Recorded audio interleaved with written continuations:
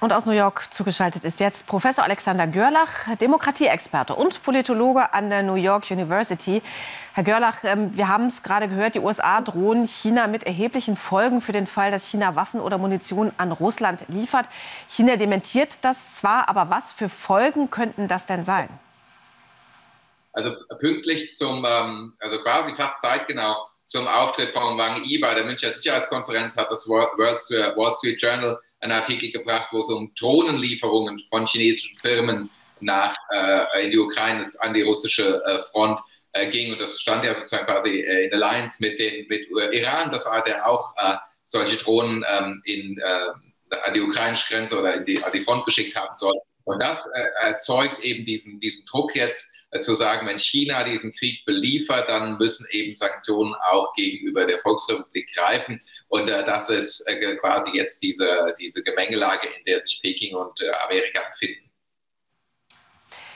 Jetzt ist ja das äh, chinesisch-amerikanische Verhältnis momentan ohnehin ziemlich gespannt. Nach diesen jüngsten Ballon-Zwischenfällen dann die Absage des China-Besuchs von US-Außenminister Blinken. Wie sehen Sie das? Gut, also man hat in der Vergangenheit versucht, in der jüngeren Vergangenheit versucht, den Ton ein bisschen zu dämpfen, die Aggression. Es gibt, gab einen, gibt einen neuen Außenminister, der vorher äh, Botschafter in den USA war. Also auch das sollte so in gewisser Weise äh, die Tonalität ähm, zwischen den beiden Ländern äh, verändern. Gleichwohl versucht Peking nun schon seit einem Jahr die Quadratur des Kreises. Zum einen sagt Peking, wir stehen zur Souveränität und äh, zur nationalstaatlichen Integrität, äh, wie es in der UN-Charta ähm, äh, festgelegt ist. Äh, gleichzeitig hat aber der Busenfreund Russland genau diese Integrität eines anderen Landes gebrochen, die Souveränität äh, massiv verletzt und einen Angriffskrieg gestartet. Und das ist eben ein Dilemma, aus dem Peking so leicht nicht rauskommt. Und deswegen wird auch immer auf die USA verwiesen, äh, zu sagen, ja, ihr schickt ja die Waffen dahin und äh, äh, in die Ukraine. Und der Punkt ist aber, Moment, aber es gab einen Angriffskrieg, also einen Völkerrechtsbruch eben Russlands. Und deswegen gibt es eine internationale Verpflichtung, dem bedrohten Land, dem ähm, ähm ja, unterjochten Land eben beizustehen. Also das heißt, in, diese, in, diese, äh, in dieser Lage versucht eben Peking alle Verantwortung auf ähm, äh, äh die Amerikaner äh, zu lenken gleichzeitig hat es sein eigenes politisches Dilemma, wenn es um die Integrität und die Souveränität äh, der Ukraine geht. Jetzt gab es ja vor etwa einem Jahr, also zu Beginn des Ukraine-Krieges, schon die Angst, dass China sich auf die Seite Russlands äh, schlagen würde und eben Russland äh, massiv unterstützen würde. Das war ja damals nicht geschehen. Jetzt ist diese Angst aber irgendwie wieder akut äh, geworden. Gibt es einen, eine Erklärung dafür? Naja, also China ist der einzige und der letzte verbliebene wirklich mächtige Partner Russlands. Und äh, China hat ein Interesse daran, dass Russland diesen äh, Krieg gewinnt. Nicht nur äh, hilft die russische Armee der chinesischen bei ihrer gerade stattfindenden Modernisierung, es ist eben halt auch der einzige, letzte und, und starke Partner äh, gegen äh, die Vereinigten Staaten von Amerika. Und das äh, schweißt ja Putin und äh, Xi zusammen, dass ihr gemeinsames Interesse ist, die USA aus ihrer, wie sie es denken, jeweiligen Einflusssphäre herauszutreiben, also Putin, äh, die USA aus der Ukraine und Europa und Xi Jinping eben aus dem gesamten westpazifischen Raum. Äh, beide Potentaten haben also im vergangenen Jahr Glorreiches erreicht, nämlich nichts, genau das Gegenteil dessen, was sie wollten, nämlich die Allianzen äh, von Indonesien bis Japan, Taiwan natürlich, aber auch die westliche Allianz hier in Europa sind ja stärker. Ähm, äh, wie, sind so stark wie äh, lange nicht mehr. Das heißt also die Idee, ähm, die freiheitliche Welt oder die demokratische Welt unter Führung der USA quasi aus äh, sogenannten Einflusszonen herauszuhalten, ist ja in beiden Fällen missglückt. Jetzt ist es ähm, ja so, dass Russland als äh, Partner für China weit weniger bedeutend ist, zumindest was den Handel angeht, als eben die westlichen Staaten, als Europa.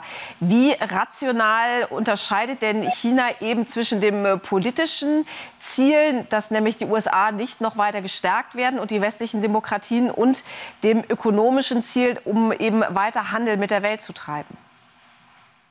Na, also darüber, an diese Frage äh, dockt direkt an. Also auch diese, wir haben eine Wahrnehmung in der westlichen Welt, ne, die hat was mit unserer geografischen Nähe eben auch zur Ukraine zu tun, mit unserer Allianz zu tun. Aber China versucht eben nicht jetzt sozusagen diese freie Welt ähm, zu umgarnen, sondern den sogenannten globalen Süden. Und da gibt es eben genügend Länder, die eben aufgrund der regionalen Ferne, aber auch aufgrund von Handelsbeziehungen zu Russland und, äh, China Indien ist da zum Beispiel ein, ein, ein interessantes Beispiel, eben eine andere Lösung favorisieren und auch in anderer, eben weil sie geografisch nicht so nah sind, ähm, eben auch eine andere Sicht auf die Dinge haben. Und wenn sie dann doch näher am Orbit äh, Pekings dran sind, dann ist es eben wichtiger, was in Peking passiert, als in Washington, Stichwort äh, Indien. Und diesen globalen Süden, den hat Peking, ich will jetzt nicht sagen hinter sich, aber da hat es doch eine größere Menge äh, Länder, die äh, auf der Seite China stehen, beziehungsweise der chinesischen Position nicht ganz unfreundlich gegenüberstehen. Und zu dieser äh, Audience, dieser Gruppe spricht natürlich auch äh, der chinesische Top-Diplomat Wang Yi, wenn er diese Friedensinitiative ins Gespräch bringt. Also auch der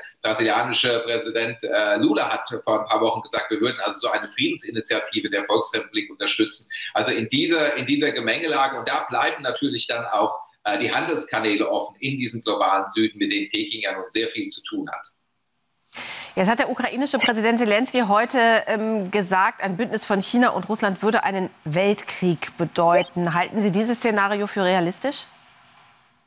Naja, aus der Bedrohungssituation, also die geografische Nähe, der sprach, ist ja nun unmittelbar in der Ukraine. Ne? Das heißt also, von da aus hat man natürlich vielleicht auch nochmal einen, ganz sicher auch einen ganz anderen Blick äh, und auch einen ganz anderen, wenn Sie ein Jahr lang unter Bombenfeuer gelebt haben, dann äh, sind Sie natürlich, also wie soll ich sagen, entsprechend sensibilisiert. So eine Eskalation wird China nicht wollen.